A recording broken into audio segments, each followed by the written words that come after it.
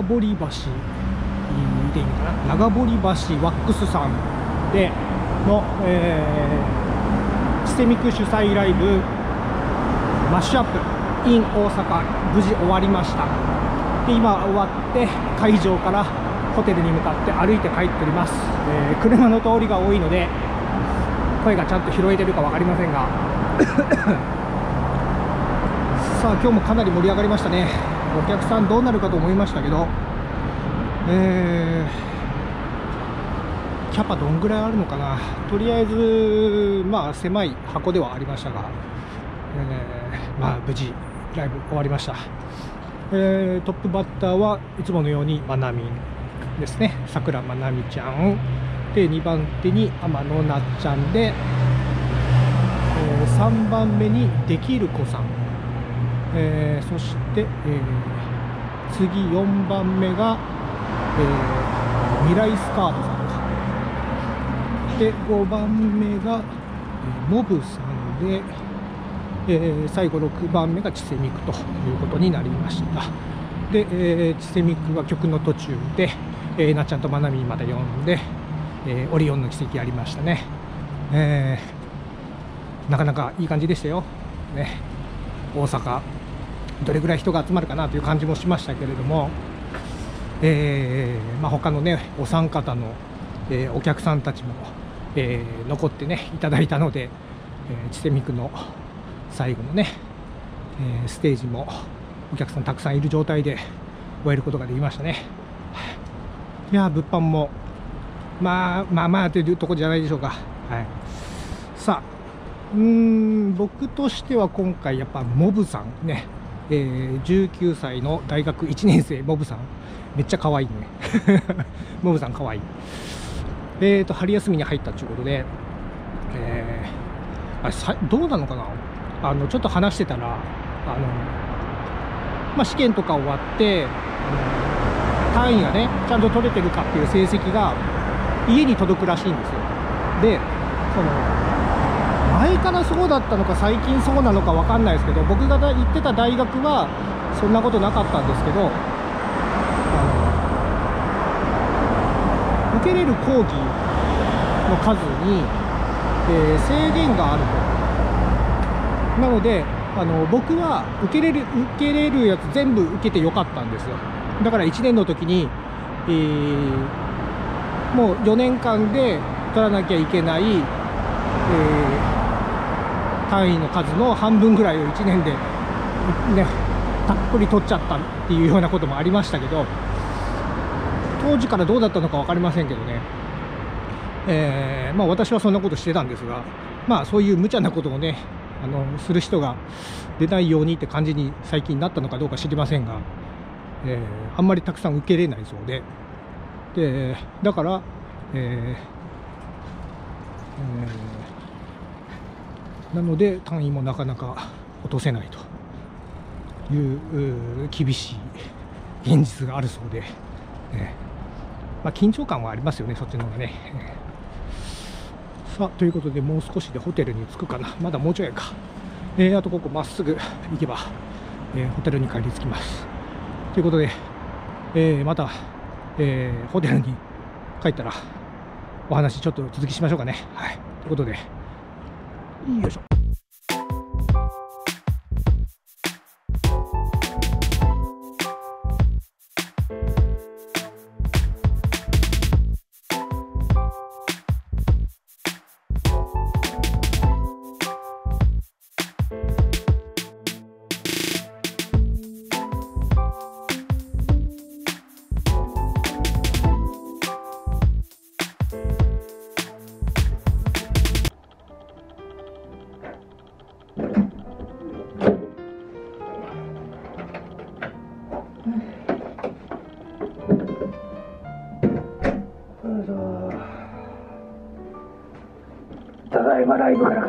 ました。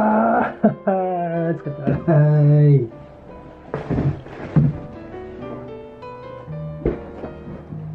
よいしょ。よいしょ。よいしょ。えー、えー、えー、えー、ちょっと角度がきついな。はい。えー、っと、今日は、えー、お昼に家を出て、で、空港行って、えー、飛行機待ってる間に、えー、雪が降ってきて、で雪降ってきたなと思って、ああ、これは飛行機遅れるかなと思ったら、熊本の方で地震があって、えー、震度5だったんですかね。で、僕空港のあの搭乗口で飛行機待ってたんですけど、あの、あの充電できるね、コンセントと USB のさせるところがついてるテーブルのとこに座ってたら、ぐらー揺れて、うわやべえと思って、たら、ね、地震で。そんなんしてたら、えーまあ、雪の影響で飛行機が、えー、20分ぐらいだったかな。えー今回、伊丹行きに乗ったんですけどね、え、まあ、関空の方とどっちにしようかなと思ったんですけど、まあ、伊丹空港ちょっと見てみたかったので、えー、まあ、そっちにしまして。でそこからリムジンバスかに乗って、えー、大阪駅かな？の方まで行って、で、大阪駅で降りて、で、そこから、えー、と、ヨドバシ梅田、ね、えー、ちょっと中に入る時間はなかったですけど、えー、店の外をちょっとね、あの、眺めて、で、それからホテルの方に歩いていって、チェックインを先に済ませて、今回先にチェックインする余裕があったんで、先に来て、えー、まあ、大きな荷物は置いて、で、それから、あ会場に向かって、えー、地下鉄に乗って、えー、会場の近くまで行って、で、えー、会場、ライブ、えー、今回、長堀橋っていうのかな、長堀橋ワックスさんっていうところで、えー、ライブがありました。はい、いやー、盛り上がったんですけど、明日が心配ですね。今日は、まあ、さっき、あの、帰ってくるときにね、え、話した動画の通り、えー、今日はね、まあまあまあ、今日もね、あの、しっかり埋まりきったっていうことはなかったんですけどね、残念ながら。えーまあ、あと、あの3名のね、こっちの、えー、アーティストさんのファンの方は、まあ、結構集まってたんですけど、あの終わった後、まあ、帰られた方もね、まあ、いたんで、えー、最終的には、ま、ぎゅうぎゅう詰めという感じではなかったんですけどね。うーん、まあ、まあまあというところじゃないでしょうかね。悔しいところですけどね。はいで、えー、まあ終わって、物販、物販終わって、えー、帰り、せっかくなんでちょっとホテルまで会場から歩いてみようと思って、えー、ゆっくり歩いて30分ぐらいかな。っていうところで、えー、ぐるーっと、もう直線で一回曲がったらもうまたまっすぐ行ってて、ねえー、非常に道は簡単だったんで、えー、歩いて帰ってきました。で、その空港を着いて、えー、バス乗って大阪駅に来て会場に来るまでのそのずっとその間ですよ。なかなか関西弁聞くことがなくて。で、まあ、当然ね、飛行あの空港とかはあのよそから来てる人が多かったりするからね、それはまああるにしても、えー、道歩いてる時に、韓国の方、中国の方、その他の国の方、ばっかりですよ。で、ちょっとコンビニに立ってたらコンビニの店員さんも海外の方でしょ？だからもう全然関西弁聞くことがなくて、ようやく会場の近くに着いて、あの、軽く食事したんですけどね。で、その時にようやく関西弁お客さんの声聞いたぐらいで、えー、店員さんも標準語ですから。えー、まあ不思議な感じだったですね。ここは日本かっていう感じがしましたけれども。えー、で、終わって帰るときはもう殺伐とした感じで救急車とか消防車とかなんか いろいろ走り回ってましたけど、いやー、賑やかですね。さああ、いよいよ明日、あチセミクリリースツアー、ミニアルバムランタナリリースツアー in 大阪になります。はい。えー、チケットが売れていないという今日の話がありましたんで、えー、具体的に何枚ぐらいしか売れてないという話もありまして、えー、当日券、まあ、今日の物販の時に何枚か売れたっていう話もあったのと、明日のまあ当日券とかで何人か来てくれたらなという感じもあるんですけど、うん、非常に少なさそうだなという感じで、明日はいいライブになるのは間違いないんですよね。東京とかでいろいろ試して、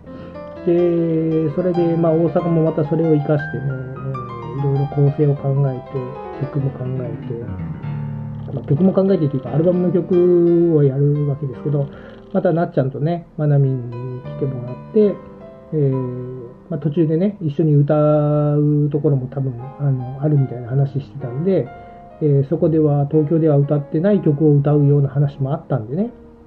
えー、それも楽しみなんで、あと明日はスペシャルゲストで、えー、ヤスさん、えー、ビーグルクルーのヤスさんかな？あが来られます。でヤスさんは今回ミニアルバムの中で、あの私が毎回言ってますけど、あのワンワン泣いている曲、涙ですね。あの曲、楽曲提供された方なんですけど、そのヤスさんが来られて、で、明日はシンタさんが鍵盤弾かれるということを言われておりますよ。まあ、涙を鍵盤弾かないとは思うんだけどなぁとは思うんですけど、えー、まあ、ヤスさんがね、涙一緒に歌うとなると、おそらく私は今まで以上に泣いてしまいそうな気がしますね。またね。いやー、みくちゃんの歌声を聞いたらね、涙が止まらなくなるんですよね。いやー、明日はどうなることやらという感じで、とりあえず晩飯食いそびれたんで、もう今12時回ってますけど、えー、風呂入って、まだ大浴場空いてるって書いてあるんで、大浴場行ってもいいかなと思うけど、まあ、部屋の方かな。で、ちょっと飯食って、今日は寝ます。そして明日のライブに備えて、えー、明日のライブ、しっかり暴れていきます。ということで、今日は、チセミクライブ、チセミク主催ライブマッシュアップ in 大阪。行ってきましたよっていうところでございました。それではまた明日の俺。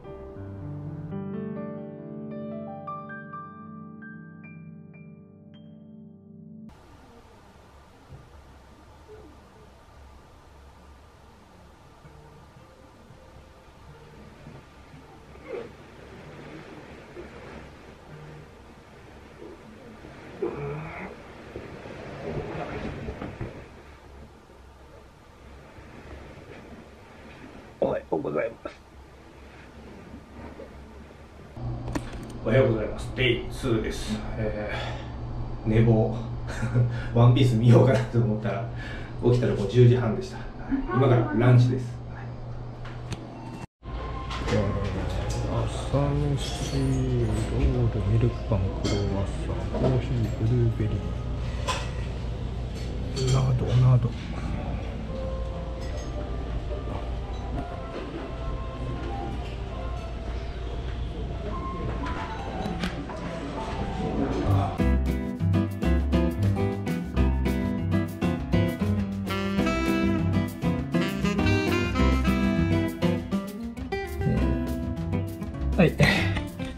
5時半を回りました。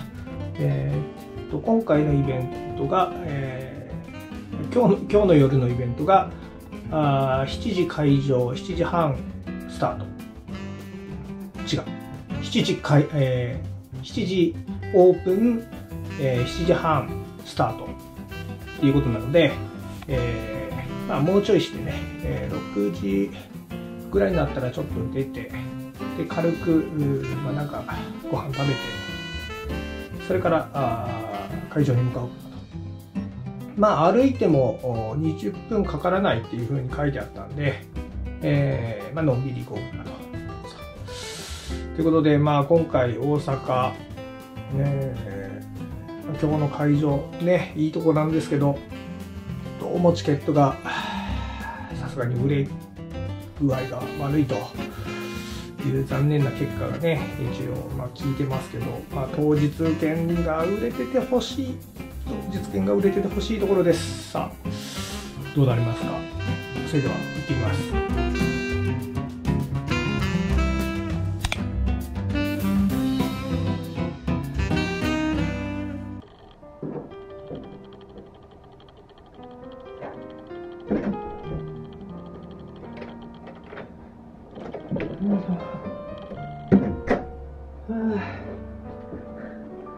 帰ってきましたよ、2日目。疲れた。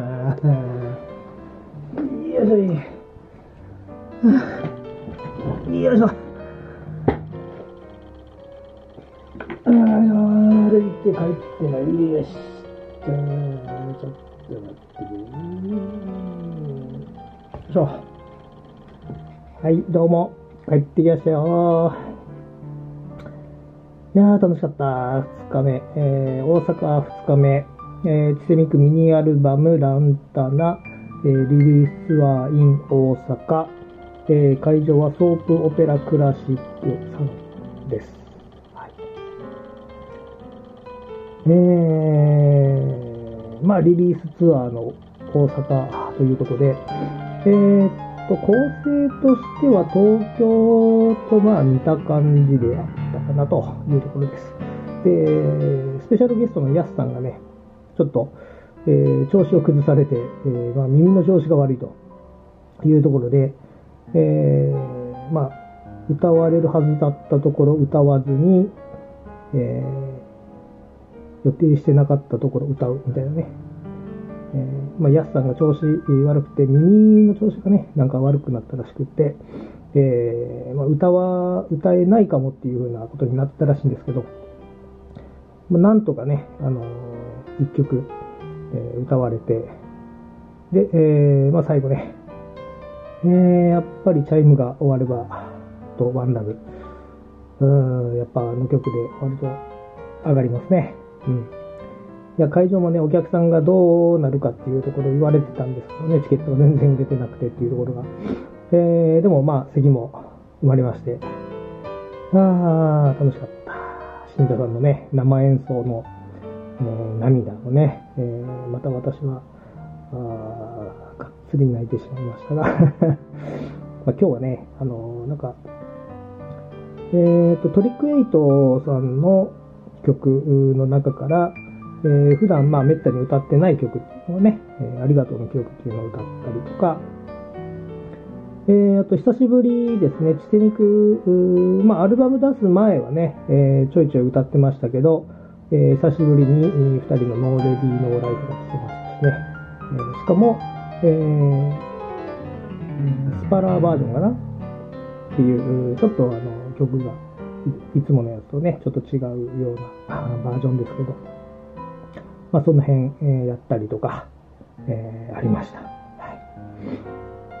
あーまあ今回のね、えーその今日の会場っていうのが、まあ椅子に座ってね、えーまあ食事とかあでもしながら、まあおね、音楽聴けるような会場だったんで、まあみんな椅子に座ってね、えーっていう感じの、えーまあ、イベントでございました。えー、いやー、楽しかった。まあ、物販もね、えーそのリンク時代から知ってる方もいれば、あリンク自体も知らずに、うんね、えーでシセミクう、ね、あのー最近になって知ってきたという、ね、方もおられましたしね。まあ、また大阪でライブやれたらいいなという感じですね。えーまあ、そして、えー明日、私は、えー帰ります。明日のお昼の便でね、帰ります。今日もここに泊まって帰ります。それでは、あーデイ2、この辺で。